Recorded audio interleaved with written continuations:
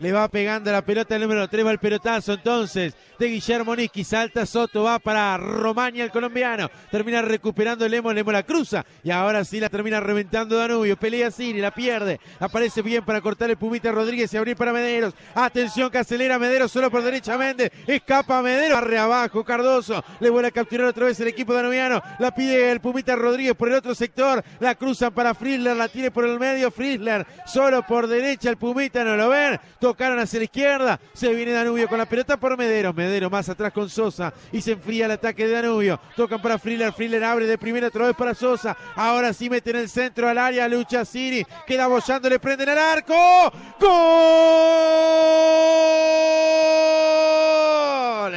gol,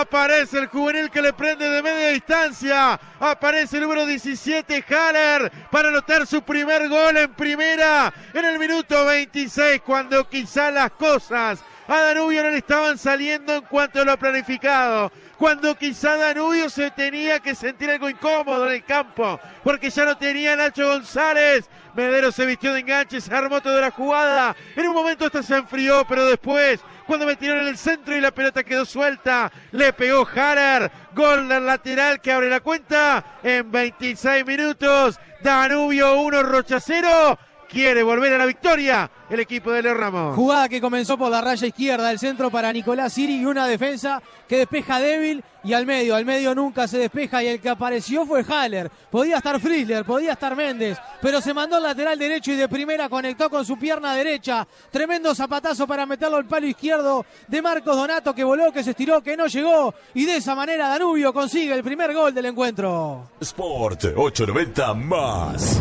mucho más.